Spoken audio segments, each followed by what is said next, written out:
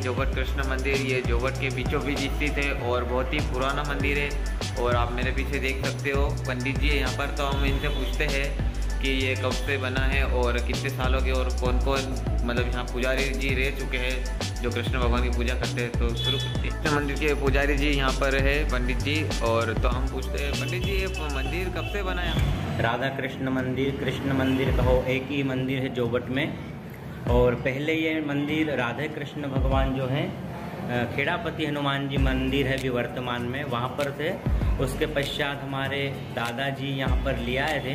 भगवान को निमंत्रण दिया था कि आप सर्वशक्तिमान हो तो आप बीच मार्केट में पधारो, तभी मैं आपकी सेवा करूँगा। तो यहाँ पर राजा से ये ज़मीन ली और यहाँ पर भगवान राधा कृष्ण का प्राण प्रतिष्ठा हुई पुनः तो ये दूसरा मंदिर है। और मेरे पिताजी करते थे पहले उसके बाद पहले दादाजी और दा, पिताजी के बाद अभी मैं कर रहा हूँ ये लगभग 80 साल पुराना मंदिर है यहाँ पर। और वहाँ का मुझे जानकारी नहीं है मैं मेरा जन्म भी नहीं हुआ था वहाँ पर पहले। तो गाय अभी आपने सुना ये अस्सी साल पुराना मंदिर है ये। तो अभी और एक विशेषता है यहाँ पर, मूर्ति दिख रही है आपको मेरे पीछे।